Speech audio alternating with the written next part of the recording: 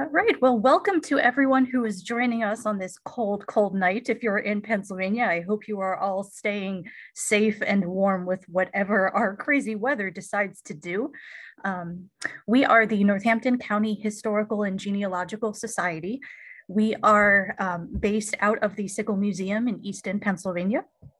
And now the mission of the Northampton County Historical and Genealogical Society, or NCHGS, is to share the stories of Northampton County's past to encourage personal reflection, community dialogue, and an understanding of history's impact on our lives. It is our vision that through exploring local history, we will foster a more caring, respectful, and inclusive community. The Sigel Museum, where NCHGS is based, is home to a significant collection of pre-European settlement artifacts, curated, loaned, and donated in collaboration with the Lenape Nation of Pennsylvania. Our permanent, um, one of our newest exhibits and one of our permanent collections is, uh, it's called Destination Northampton County. Um, it tells the story of those who settled here long ago as well as today we encourage you to become a member of NCHGS for invitations to opening receptions, free museum admission, and free access to our research library. For more information on our exhibits and our programs, you can visit sigelmuseum.org. We will be having a question and answer period following this installment of our In Conversation series with Chawne Kimber. Um, so please feel free to drop any questions into the chat feature at the bottom of the screen we will respond to as many as our time allows. Um, tonight, we are thrilled and honored to be in conversation with Chawne Kimber, um, an accomplished mathematician, visual artist, and activist. As a renowned quilt artist, Chawne explores the history of cotton production and the historical and contemporary issues of racism and social justice. Her quilts have been acquired by many leading institutions, including the Smithsonian, the International Quilt Museum, and the Petrucci Family Foundation Collection of African American Art. The Sigel Museum is currently home to Kimber's Cotton Sophisticate, a six by six quilt in our temporary exhibit, Another American's Autobiography, selections from the Petrucci Family Foundation of Latin America, um, excuse me, uh, selections from the Petrucci Family Foundation collection of African American art. Um, so what we are going to do tonight is I will um, be in conversation with Chawne, asking a couple of guiding questions, um, but I really want to let Chawne's incredible work take focus and take center stage. Um, so if you have any questions about um, Chawne's work or um, some of the nuances that she works with in her, her many um, quilts, uh, please, as I said, drop them into the chat below um, and we will get started. Um, Chawne, I was wondering if we could begin with you um, telling us a little bit about yourself and in particular what it is that drew you into quilting. thanks, Sarah, and thanks for inviting me. And um, thanks to Megan von Ravensway, who's I think somewhere here, um, for and oh Claudia Volpe. I cannot forget all the people who are bringing about the Petrucci exhibition that's at the Sigel Museum right now. Um, and I'm just honored to be the the Easton resident allowed to be adjacent to all those wonderful artists in the exhibit. Um, I also want to just make sure that we're all mindful that uh, the world is not about quilts today. Uh, there is a lot going on, and um, so I don't want to in any way make light of the world, but thank you for taking a little respite with me for a short period of time to talk about frivolous things. And um, we'll get back to CNN um, right after this. I, well, I was going to say I hope, but maybe I don't hope. I hope we all can take a little break for a little minute in the privilege that we have here. Um, so, um, a little about me. So, I, yes, I'm a mathematician. I was a professor at Lafayette there in Easton for 20 years, and now I'm a dean at a university uh, a little bit south of Pennsylvania, but not south enough. I still get snow. Um, I Uh, yeah, so my quilt history, is that what you asked about? Yeah, so I started quilting um, when I applied for tenure, which is a form of um, hazing that professors do to each other um, to determine whether you get to be part of the club and have a job for life, in essence. And um, I was really kind of not enjoying the lack of control over my future. I handed in my my file, and my colleagues were judging me. Um, there's one here on the screen, um, but he was a nice one, um, and they were all nice.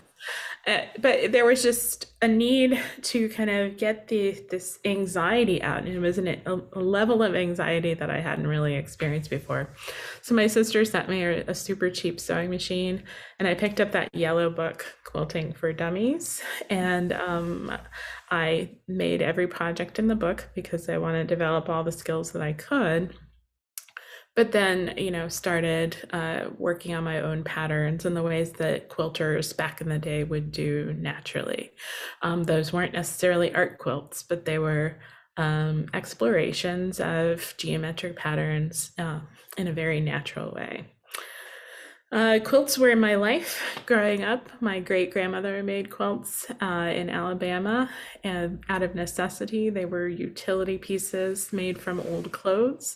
And she had used threadbare clothes to make them. And so, as the quilts wore out, she put patches onto the patchwork. And so, it became more of a sculpture. Um, and I just I remember the texture of running my hands across it. Um, when you uh, when you live uh, in poverty, you don't have the money to buy fresh batting to go as the insulating layer in the middle of a quilt. So your old quilt becomes the hmm. batting layer inside there. And so it's actually the original uh, heavy blanket, um, weighted blankets, right? So they're super heavy because they had the weight of multiple quilts inside of them. And um, and I think I just always had this need to try to make a quilt. I was a sewist for garments. Uh, it's a southern thing. We can go into that later, but uh, and so I did have some sewing skills, and it was wonderful to apply to quilting. That's wonderful. So the Sigel Museum currently has your six by six quilt cotton sophisticate, um, which is on view until early July of 2022. So in the in the same vein, when you were speaking about um, your grandmother, could you tell us the inspiration behind cotton sophisticate, please? Yeah. Is it okay if we show a picture of it? Absolutely. Just people don't know that one. So can I share screen?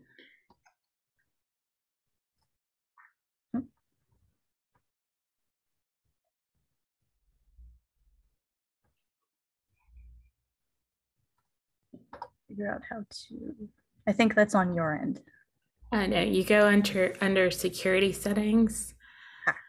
You have to allow us all to share screen. ah, but um, this is a room full of my friends, so they're not going to swoop in. Um,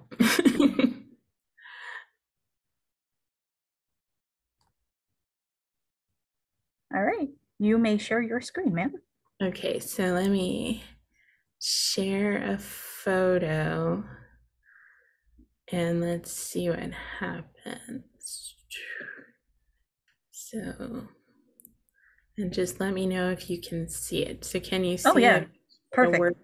Okay, you can see that. Okay, good. Um, so yeah, when you say six by six, I want to be really specific. It's six feet by six yes. feet. Um, so uh, it's not small; it's quite large. And so when you think about that think about the um, smallness of the pieces that go into making it. Um, so this quilt uh, arose in a quite uh, capitalist way. So the, a new company uh, came on the scene. It's called american made brand.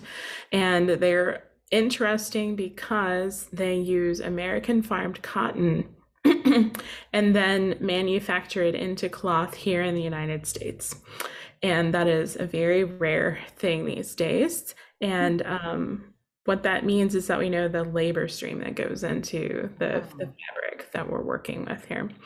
Uh, at least we know it's uh, beholden to US labor laws, and we hope that those are being followed. Uh, there, there's a lot of fabric, um, even the clothes on our backs right now, where we also we do not know the origin, and we don't know the labor that goes into them. Uh, and I think that we should become more conscious of that. So I was quite interested in this new company coming on, and they had a contest when they first opened up, and they they um, said if you make a quilt just using our fabrics, you can enter it into a contest to be in an exhibition at the International Quilt Festival in Houston. Um, and so I am, I was like, at, this was before I had started exhibiting at all. And so I thought, ooh, well, maybe I'll try that. And so I, oh, they didn't give you the fabrics, by the way. You had to buy them. So, you know, new company trying to get their foothold. Mm. And so, of course, I bought one yard of all, uh, each of the 75 colors that they had because I couldn't choose. Um, and there are some principles of choosing color combinations that uh, I adhere to. So, Kaffe Fassett, who's a rather famous knitwear designer who also designs fabrics, um, he's always said, right, if your color combo isn't working very well, you just add one color. Well, my approach to that, having very little time on my hands to be trying out new color combos, is just to use them all at once. And I think it kind of works. It doesn't really look like clown vomit uh, if you do it carefully. So I started this project. Um, I could actually, I don't know if you can even see the arrow, but I'm drawing a circle around the first square that I made. It's got that dense red center to it. And um, I came up with a technique to do this piecing quite efficiently. Um, the square black squares, if you can read, just focus in on the black squares for a second. Uh, those are actually the centers of what are called log cabin squares. And so around each black square, I put a layer on each side of these stripes and then do a layer stripes around those. And I build out from each of the black centers. And so I needed to make a ton of those in order to make the size that I wanted.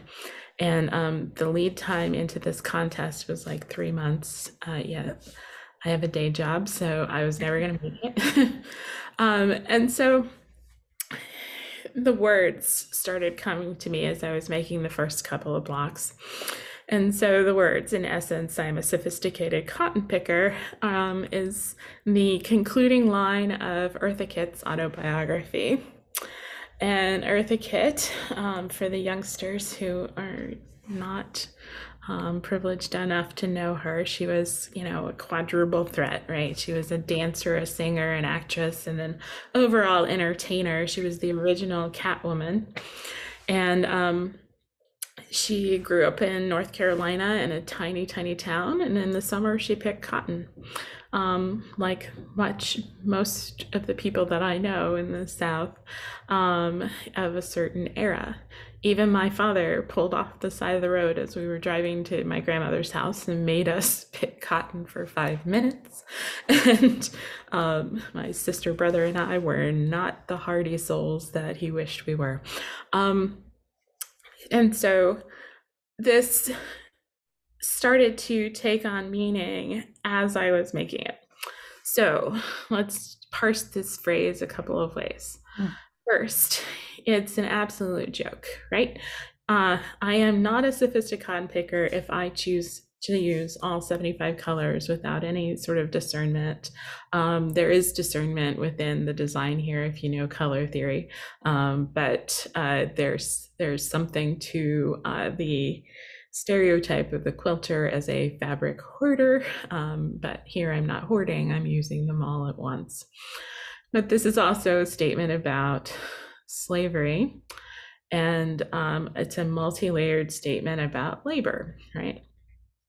So here we have this brand new company. Um, you know, the labor force is what it is, um, and it's not all that diverse. And but today it's under um, some enlightened labor standards. Um, whereas our friend Eartha Kitt is commenting on um, a whole different universe of labor standards of the building of the country. And um, yeah, so I think I'll stop there because I think we're going into labor more in the next question. Yes. I'll stop sharing here so I can figure out how. Okay. So when you when you talk about labor, um, obviously in in this context, there are so many different ways that we can interpret that word labor, right? Um, and you had mentioned too that with this new company, as we would hope at least, um, following uh, labor law, can you um, tell us both in in a historical sense, but also in the creative sense, um, the many roles and intersections of labor that goes into quilting and in this quilt in particular? Yeah. So uh, let's do it instead of starting from the beginning, we'll start from the middle and go out in each direction. So Yeah. let's start with the quilter. so the quilter arrives at a fabric shop, um, and there are many, it, it is a multi billion dollar industry today. So when people say not your grandmother's quilt site, I have no idea what they're talking about because quilters are all ages, all races, all religions in every region of the earth. Um, and so it's it's a thing. And it is, of course, commodified in the United States. And so there are all kinds of fabric shops. There are um, large big box stores, and then there are also the independent uh, fabric um, shops that you can go to that are owned by a family, um, but they're all kind of managed through distributors of the cotton. So there's no difference in the cottons that you're getting necessarily. We can go into that. I'm sure there's some quilters here on the screen who would debate big box versus local quilt store fabrics, but okay, yeah. Anyway, there's a lot. Um, and so you go to the store, you buy your fabrics, you buy your threads, and there is the full range of options to you from the most affordable um, to the most expensive. If you want to spend $15 on a spool of thread, there's a company there waiting to sell you a $15 spool of thread. Um, I am so sad to inform everyone that it's the same spool of thread that you can buy for a dollar at the big box store. Um, and and so I'm just pulling out all the controversies today. But um, We when- ready for this, Chawne. I'm so sorry. it's Threadgate 2022. Um, and so the you have to start thinking about sort of when you make the, the decisions of what to spend on, you're making decisions about um, there, you mean fully your identity is coming through in certain ways. And so there, especially in the age of social media, those there are those who like to show off that they bought the $15 spool of, of thread and it means something. So there's labor going in in even just the retail sales of fabrics um, that needs to be analyzed, and you only need Google Joanne Fabrics to learn about some of the things that don't go well in a large store. Then the quilter takes all that fabric home, and um, honestly, it is the most futile process on the face of the earth. You buy large sheets of fabric and then you cut it down into tiny, tiny pieces only to sew them back together again. And so it is highly laborious. Um, but some of us find uh, a lot of uh, therapeutic benefits from this activity. Uh, and and there it's yeah okay. Uh, it's also a way to kind of get ragey about the least important thing on the face of the earth if those corners aren't matching when you sew things up but it's a thing. Uh, and to sew a quilt it's you have to really kind of be committed to a long-term enterprise. And um, it's got multiple steps. It's got um, and all of them are a little uh, nitpicky and fiddly. And there are a lot of arguments about how much to do on a machine and how much to do by hand. And it just depends on whether you're a purist or if you're trying to just get something done. If it's a quilt that's for a baby that maybe you know is not going to be treated so well, or if it's um, something that's meant to become an heirloom, or something that's meant to go in a museum one day. And so the labor of making a quilt is enormous. If anyone ever gives you a quilt, they just gave you a piece of their heart. And so please love it accordingly. Um, So is that good on the making of a quilt? We can Yes. go into steps more, but it's really boring. If I start talking about basting, you want to just mute me. Okay. Now, now let's go back in time from that quilt shop. How did that fabric arrive at that quilt shop? Mhm.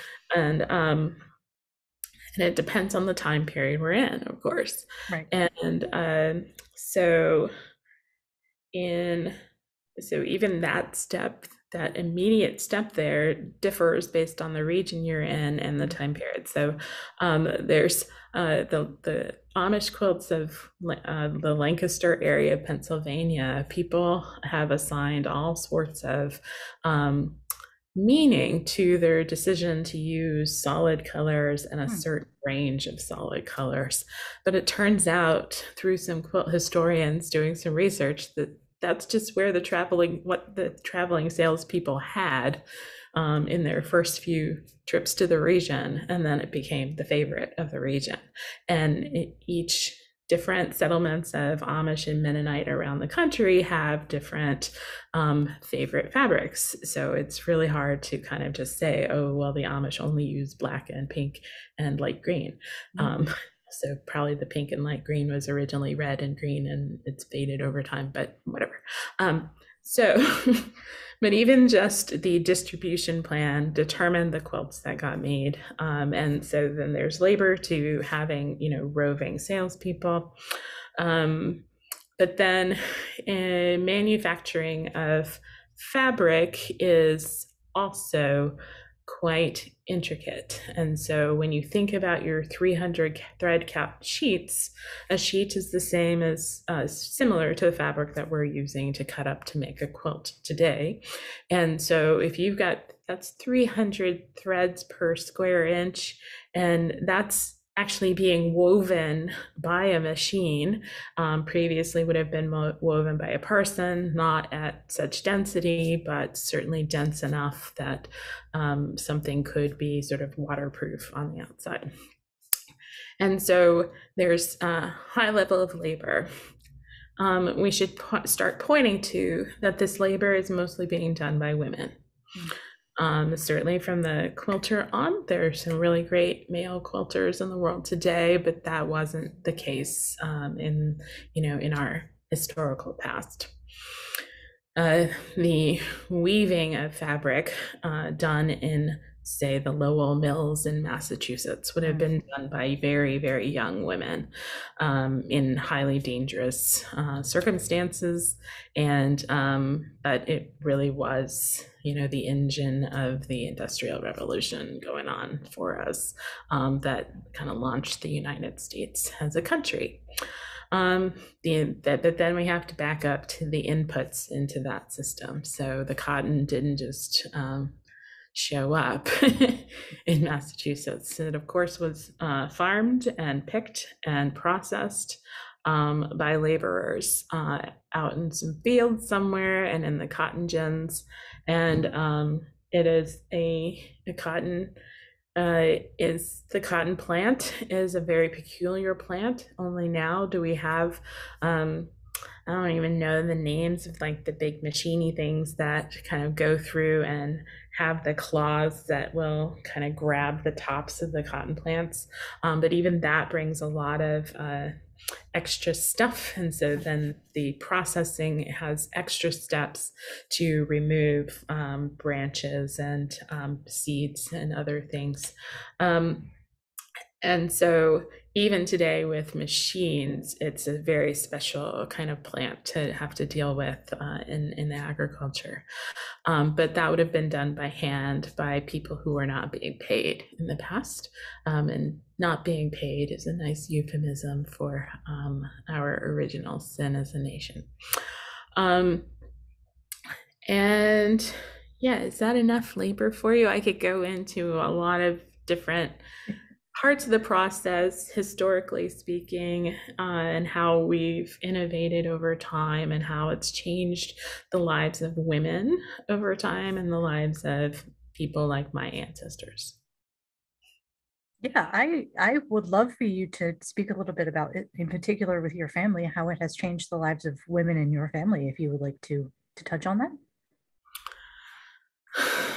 well, sure, I guess. Um, so, yeah, I tend to kind of reflect on the way my great grandmother would have made a quilt versus how I make a quilt. Hmm. And um, in fact, our outcomes are uh, similar uh, in that I'm quite uh, inspired by the style of patchworking that she did. So um, it's called improvisational. It's not the rigid uh, geometric shapes that you might be familiar with in some mm-hmm. quilts, but instead um, is more similar to jazz. So I take one of those rigid geometric shapes, but then I riff on it. So I improvise on the the on the standard, uh, but using my own skills. And so Mm-hmm. I earlier described um, that the quilt, uh, sophisticated cotton picker, um, was actually a log cabin quilt. And so that's my mm-hmm. version of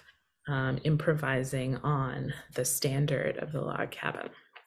Square and square, but made with stripes. And then also the stripes aren't regular, but then I'm doing a lot of color theory within those stripes. Um, yes. So but my great grandmother did not have a sewing machine. and she did not have the means to buy fresh fabrics. Mm-hmm. And so she's taking um, piles of threadbare clothing um, that are different colors. They've been dyed um, and they they were purchased clothes. Some of them were clothes that she had made originally to be, you know, their shirts and their pants.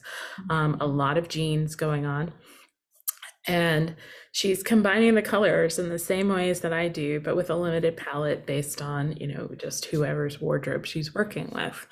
Cutting with scissors, um, and whereas I use, um, sometimes I use scissors only, and that has a particular uh, appearance when you do hmm. that. But quilters today use um, rotary cutters, they look like pizza cutters, and acrylic rulers. You can buy a ruler to do anything you want. You can get highly specialized rulers, and that's really kind of strange to me, but I am always fascinated to see the new rulers. Um, and so, you know, here are these contrasts. Um, when people tell me they bought a $15 spool of thread, I'm like, yeah, my great grandmother never would have paid that much for a spool of thread. And look how long her quilts lasted. So you can't really tell me that that cheaper spool of thread wouldn't have, uh, it has a, a, a differential in quality. Um, and so there's a lot going on there too. To make a quilt would have taken a long time to make a six foot by six foot quilt completely by hand with pieces that small, right? I did mine all on a sewing machine using specialized skills to do the patchwork.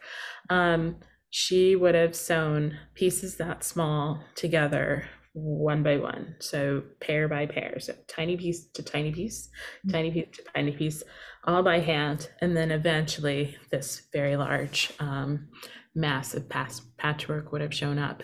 So it took me a year to finish just the top of that quilt, so just the patchwork.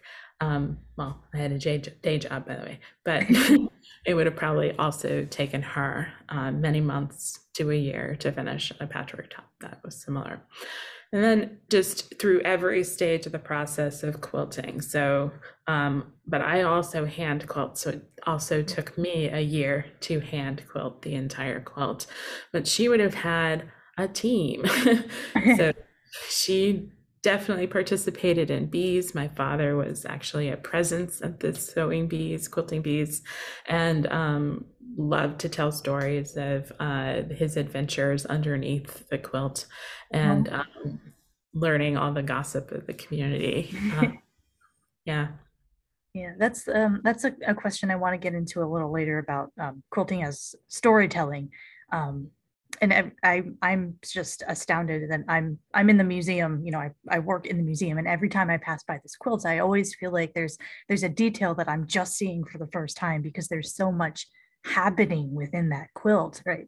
Mm-hmm. Um, and a little bit ago, you had you had mentioned um, that you got into quilting as a as a means of expression and as a means of um, as a creative outlet to relieve stress. Um, and in previous um, conversations and some of your writings, you talk about quilting as a means of, of social justice. Can you tell us a little more about this journey for you as a creative outlet and as a means of working towards justice?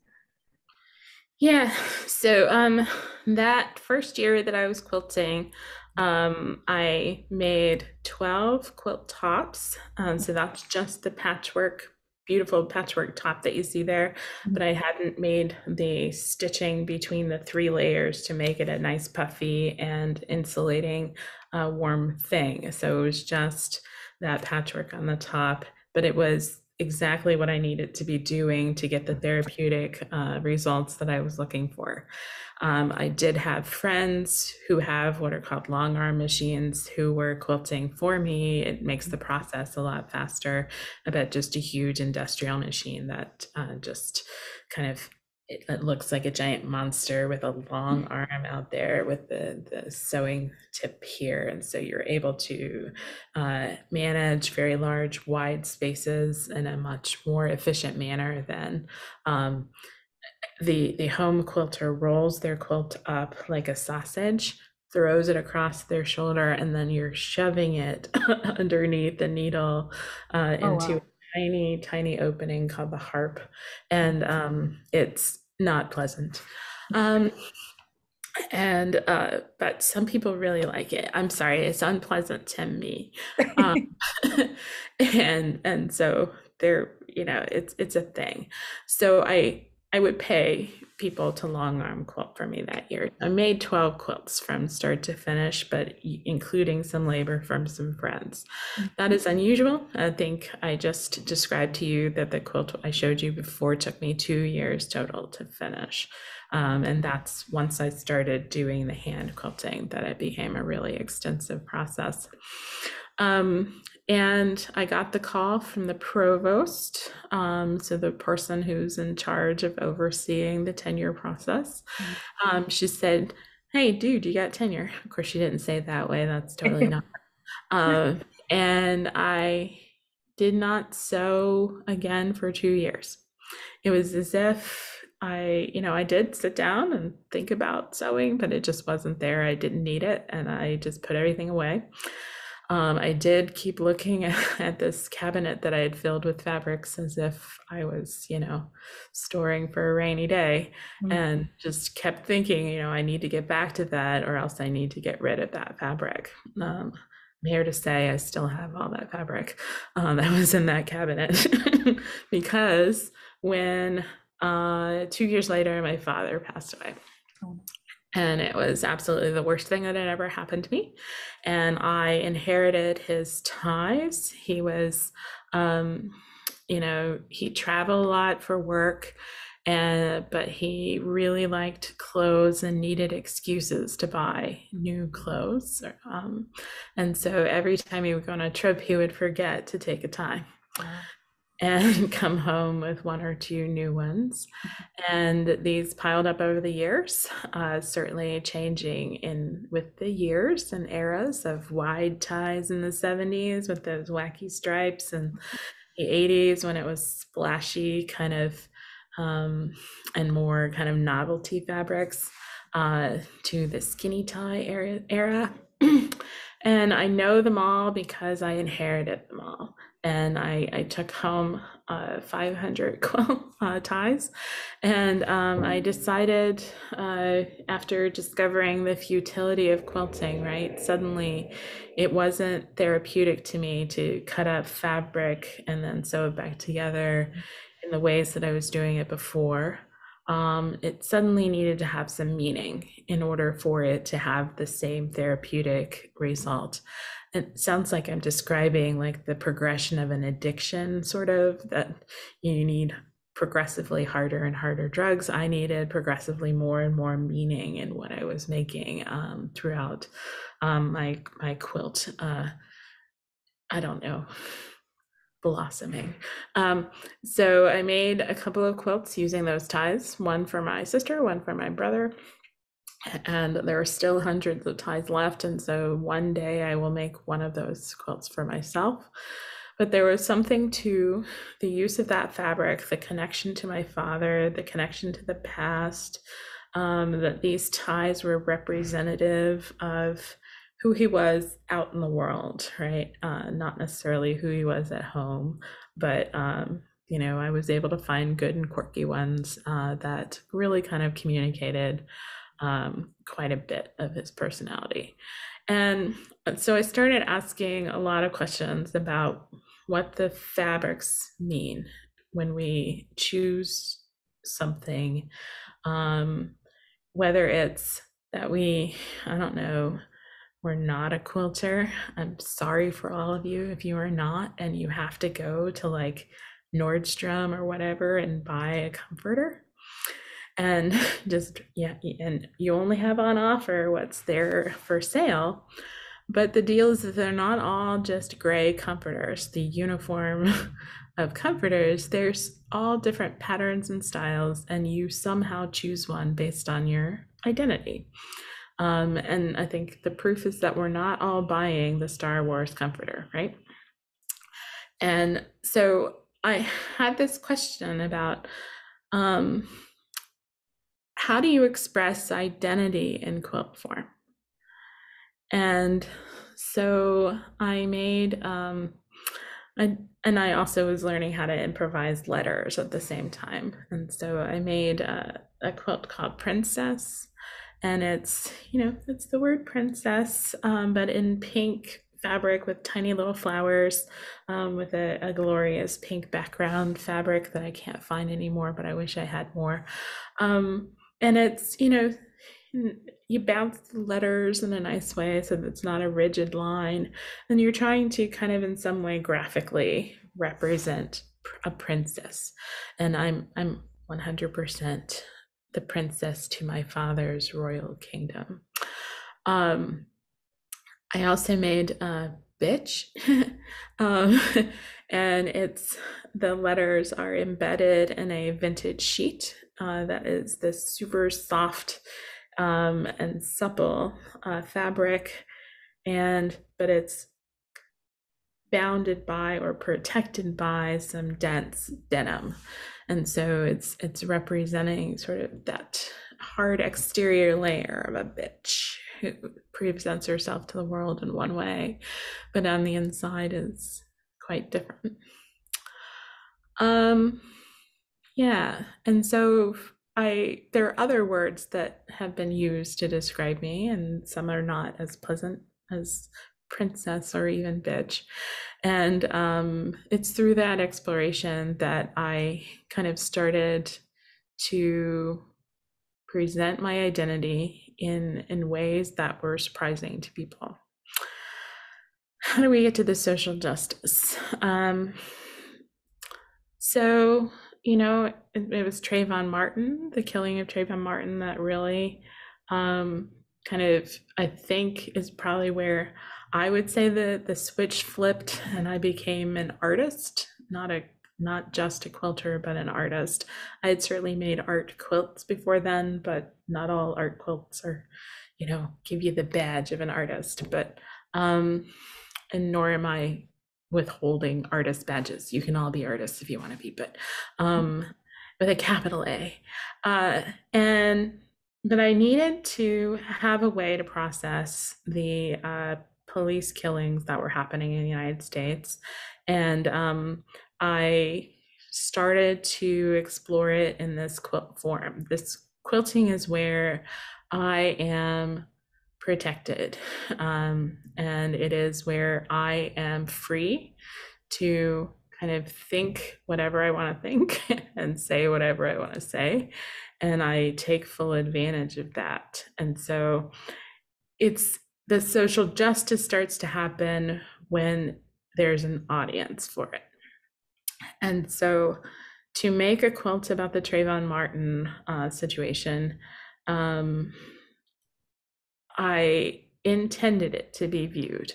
And I was thinking about the uh, ways that it could be used to educate people about what happened there. And so, in the aftermath of the killing of Trayvon Martin, who was wearing a hoodie and carrying some Skittles and was gunned down, um, the on social media, um, a conservative person, um, a, personality on Fox News said, "Well, if he wasn't wearing a hoodie, it never would have happened." And so people on uh, Twitter started taking pictures of themselves and posting them with "I'm Trayvon" emblazoned across them in sort of this "I'm Spartacus" moment. And I kind of knew that this this is this statement was what I wanted to comment on and it's the politics of fashion. It's it's about how people want to see you not necessarily what you think you're presenting to the world. And so that quilt is four different views of me in a hoodie in two tone in a two tone style much like sort of if you think about the street artist Banksy it's sort of that stencil type of um, approach to presenting sort of shapes that just sort of blossom out despite being quite simply um, constructed. And so I was looking for it to be exhibited and for people to engage with these four different ways that you can appear. And so there's one that makes me look super fierce in ways that I didn't know I could be. But it came from kind of a viewing me from down below. So I think I'm super scary to like toddlers. And then another, when you view me from up above, I can look like a contemplative nun in, in a in a hoodie. And so I'm asking people to think about how they choose to view people and whether we ought not try to view people in multiple ways before making a decision. That's how all of my quilts are uh, now. Um, I'm trying to ask people to think and uh, thinking at different depths with different ones of them. But then the social justice comes in, comes through awareness, and um, doing a quilt form welcomes people into a warm and grandmotherly space, but then kind of smacks them across the face and asks them to think twice. Yeah, so part part of our role with with NCHGS is as a historical society, um, our mission and our vision focus on understanding how history and how stories continue to inform the present, right? We are very much um, trying to live up to the phrase that history is never past. Um, we want to ensure that community stories survive and that they are given appropriate spaces to be to be held and to be heard and to respected and to have dialogue about them. Um, so can you can you tell us um, we we touched a little bit on it in some previous questions, but can you tell us about the role of quilting and quilt making in preserving stories, either in in your family or in in Trayvon Martin's case too? Yeah. So historically, quilts have served the same purpose as the family Bible. Um, so the family Bible was the place where you kept your your family's vital statistics um, through time. So people did not have birth certificates. There was the family Bible that you would show, um, or someone kept that record. And so there are examples of quilts out there um, where births and deaths are, are recorded um, on them.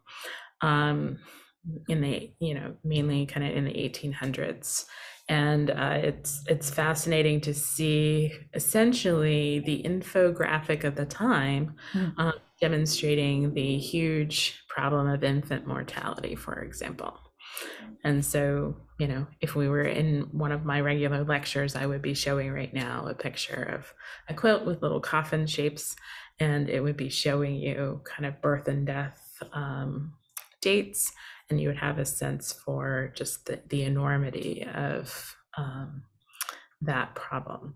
And so here is also showing sort of a social justice issue. If we were to compare across um, income levels, there were some differences. And that would be an interesting thing. And so now I'm ready to start a whole new talk. Anyway, um, so, um, but quilts, uh, retain stories in a lot of ways. So I'm a member of a group called the Quilt Alliance that is all about documentation on quilts.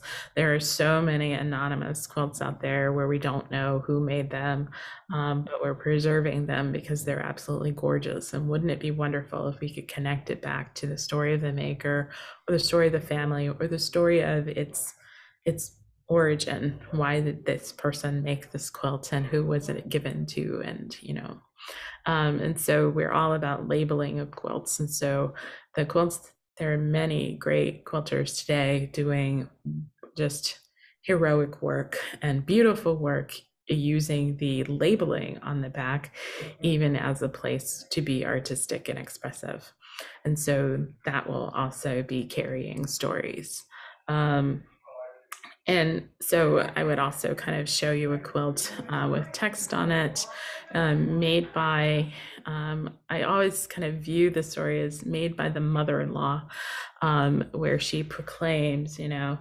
um, you know, God be the glory, right? And then she says, from your mother, and then puts her name.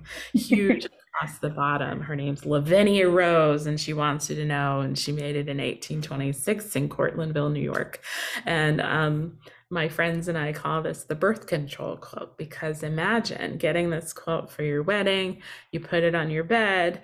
This is not exactly the most uh, uh, sexy time inspiring quilt, right?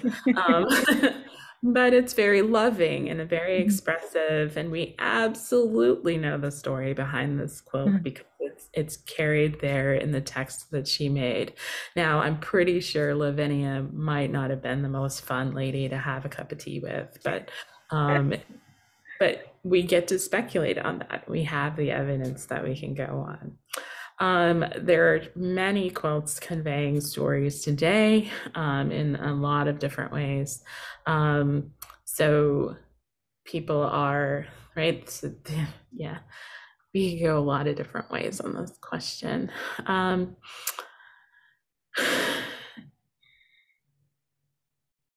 I actually don't even know how to answer this.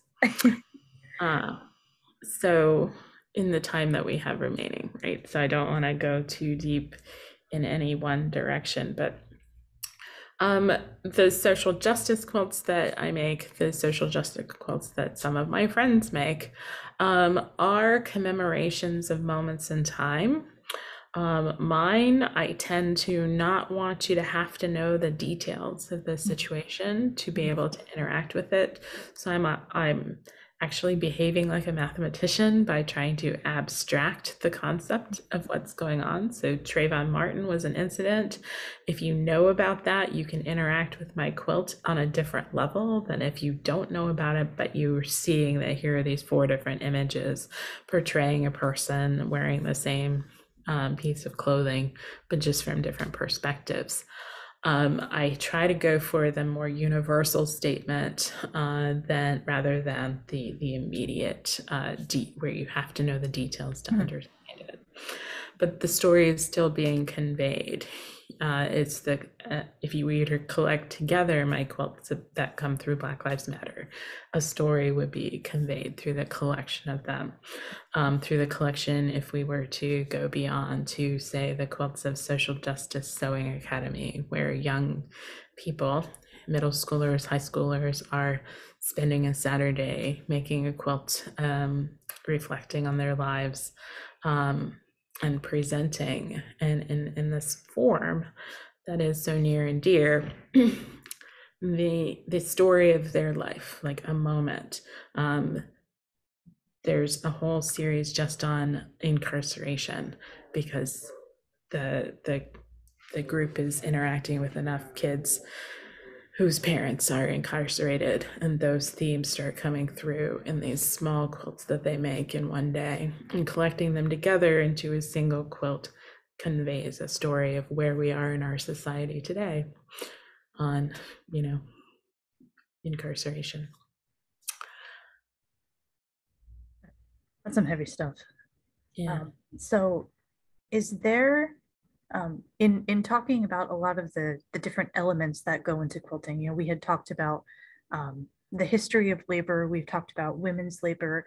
Um, we talk about even emotional labor and, and processing um, emotional burdens and trauma and social justice. So um, in terms of any of those kinds of difficulties, would you say that there is um, one particular project or one particular quilt that has been the most difficult for you in, in any of those terms? Um, and what kinds of challenges did you face while you were working on that quilt?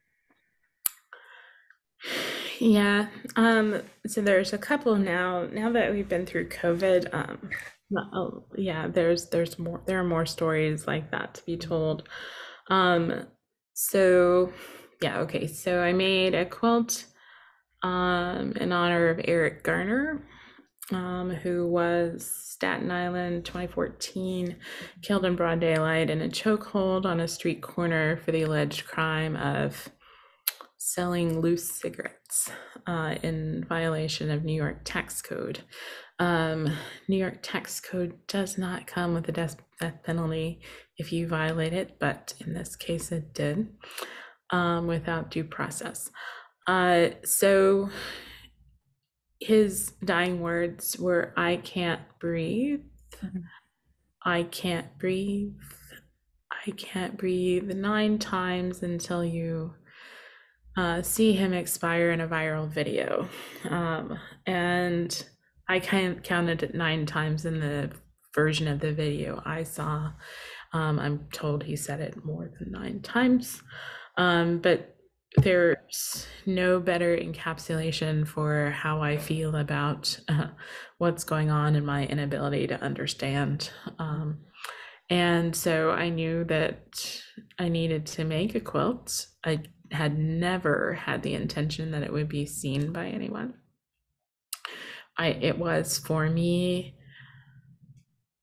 um a journey. So uh there are right, I don't know if you ever had to write lines when you were in elementary school as a punishment. Um, I will not talk in class, right? Uh, I will not talk in class, and you had to write it 50 times. And the fastest way to do it is to go I, I, I, I, I, I, I, I, I, W, W, W, W, I, and to write these lines, and you're supposed to get a cramp in your hand, and that's the punishment, right? And so to make the words I can't breathe nine times, one could do kind of a, um, an assembly line process and just make nine I's and make nine C's. Um, but that was not my intention. I wasn't trying to do the most efficient piecing. I was trying to experience the the uttering of the words and the the labor of saying those words when you actually are experiencing those words saying i can't breathe as you expire and so you know, I'm normally listening to some really loud music because you can't hear music over the sound of a sewing machine very well. Um, but in this case, I just turned off all sounds, turned the lights down, just used a lamp over my sewing machine, and um, just one by one kind of made I can't Make each letter separately, assemble it into the word can't. Breathe and assemble it. And then I put together the phrase and then I put it on my table. But listening to each stitch, not trying to go really fast in my stitching on my machine, and just feeling it and then putting it aside and starting again. I can't breathe. I can't breathe. Stack. And in one night, I made all nine phrases and then I bundled it all up and put it into a corner. It, it, it had um, served its purpose. And I couldn't imagine, you know, touching it again. Um, but like six months later, seven months later, I revisited the stack. Uh, one might say I uh, excavated down on my sewing table to find that stack again and realize that perhaps I could try to do something with it. But then I just continue to make every stage um, such a process. So it's surrounded by a lot of dense patchwork made with small pieces, all in different blacks. I should say that all those black fabrics are Civil War prints. And so, you know, the meaning, the many layers of meaning is, is are, are throughout this, um, if someone can point it out for you. And um, it it was yeah, it was rough to make that one. And then I entered it in QuiltCon 2015. And so, yeah, I think it exhibited in 20, yeah, 2015 in Pasadena, California. And um, the experience of being there in the exhibition with people who had never heard of Eric Garner, who had never heard of the incident, learning about it for the first time by experiencing my quilt. Um, there were a lot of tears in that space. There was a lot of um, not so good stuff too, um, but it uh, it was on the front page of the LA Times. Mm, my quilt was, and um, yeah, that actually kind of is what launched the rest of what I do. Whew. Uh, we had just talked about um, quilting as storytelling, and if that is not one of the most powerful stories that I've heard in a long time, uh, I don't think I'm uh, alone in saying that a, a, lot of us who are tuning into this program are going to be like carrying that weight um, and thinking about that tonight. And um, I want to thank you in particular too for for sharing that with us. Um, lastly, I, I wondered if you could tell us um, some projects that you're currently working on. I'm sorry, I'm not getting emotional here at all. It's fine. Um, any any projects that you are currently working on and what you have planned for the future? Um, yes and no. um, yeah. So I am finally making a quilt for myself just out of scraps and it is the most fun. It's what I need right now. I did uh, accidentally take on an even bigger and harder day job. And so, uh, you know, I don't want to spend my weekends thinking about police killings. And so instead, I've kind of moved to ex- examine a few other themes in life, um, some coming from uh, African American literary traditions, um, also exploring okay, so I'm about to violate uh, it, but I'm also looking into um, pleas for um, lynching to be considered a federal crime. it still is not. and uh, there are there's a huge trove uh, in the National Archives um, of letters to presidents over many decades. And um, it is just fascinating to read the pain and to know, you know, I'm not going to say it's indifference, right? I, I, have to believe that some of these presidents and their um, their their teams were were humans, uh, but we're still not that we're not, still not there yet. That we can't call this heinous crime a crime on the federal level is really kind of sad. So I think there's something to the words that are there and knowing uh, some of them, the people have been researched. And so we have a sense for who was writing this letter and at what time in their lives. And um, so I'm, I will be exploring that um, going forward. That's incredible. Thank you. Um, we do have we do have time for some questions and answers and uh, Oh my goodness. Um, we actually, oh, we have um, someone who is asking if you have photos of the other quilts that you referenced, not just um, Cotton Sophisticate, if you are able to share other photos. Um, let's see. Um, I think we can go with this one. Oof. There's some four letters in here, but okay, we'll wait. um, yeah, I'll just scroll past the, the the ones you might not want. Okay, so let me share screen and we'll do a PowerPoint. And we'll start with this one. And so this would be the the one for tea. So this is my Trayvon Martin quilt. Um, and these are all images of me in a hoodie in two-tone street art style. And sometimes you need to get back away from it to have them coalesce for you. But right, these are my nostrils.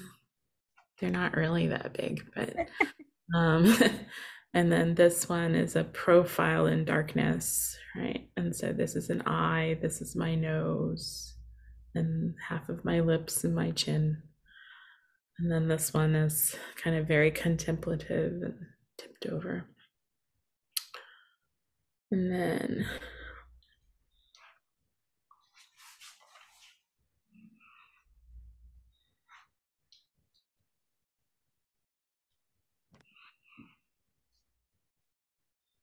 right? I got a ribbon. And I think I got like a couple hundred dollars, which paid for my plane ticket to Pasadena, right? You know. Um yeah. So this one is owned by Michigan State University.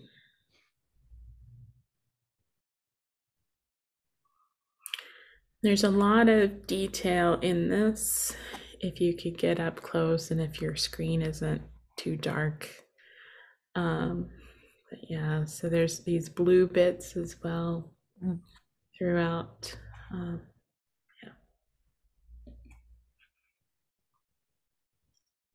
Um, We have a question about, um, I noticed on your social media channels that you are knitting or crocheting. Is this a new project or a new direction for you? Um, no, it might be we we should call the origin, right? It's it's where I started. So my mom was um a fierce crocheter, so she she um right, so I come from a dual career family, latchkey kid. Um, but on the weekends, my parents were very much present and both of them doing some sort of crafting or artistic work. And for my mother, her favorite was to come home on a Friday and then Friday night she would just grab multiple balls of yarn and a crochet hook Mm. and we would watch uh, westerns all weekend.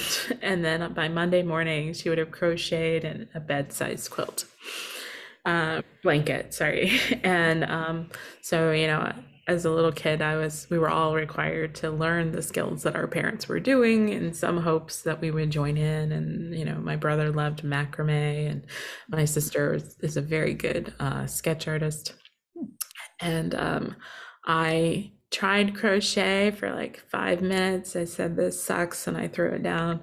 And then um, I picked it up again uh, in, you know, probably in my 20s at some point, just because I wanted a little Afghan for my couch uh, Hmm. for for TV watching, right? And it has it, you know, blossomed into um, more of an artistic practice. At the same time, I was learning knitting, um, mainly because I wanted to make socks.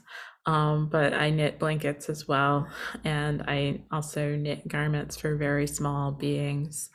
Uh, so I would say that I am working on an installation project um, with these blankets and with um, some crochet that my mother left behind. So. Here's an interesting question. Um, is any scrap too small to use? Um, unfortunately, I have to say no because um, I was recently offered time using an electron microscope, and so, uh, well, I'm totally kidding, friends. I'm not gonna like play with a million dollar piece of equipment, but I would if someone triple dog dared me, I would. Um, yes, right. So unfortunately, uh, so structurally, if you're going to make a traditional patchwork quilt, then you do need enough uh, enough threads of the weave to be able to have a seam to to to attach things together using sewing. But of course, you can create new fabrics in a lot of different ways using glue, using um, uh, other sorts of uh, adhesives that can allow you can fuse fabrics together. So honestly, there is no scrap too small. And uh, a question just came in relatedly. Um, is the lettering on your quilt applique, um, whether that is cotton sophisticate or or any other quilt? Um, the ones I've shown you tonight are all pieced using that improvisational style. And um, but I I am I I'm not picky, right? I start with what is the expression I want to make and then decide what's the best way to present that. So um, I've done it all applique, embroidery, piecing. Yeah. Do you do you know going into a new project if this is going to be a quilt that is for you or if it is for um, public display or exhibit? Or does does that sort of proceed organically? I prefer that it proceeds organically, but I'm getting more commissions. And so then the pressure is there. And so that's harder for me. I would I would rather have the kind of leisure to make the quilt I'm going to make and then we decide. so.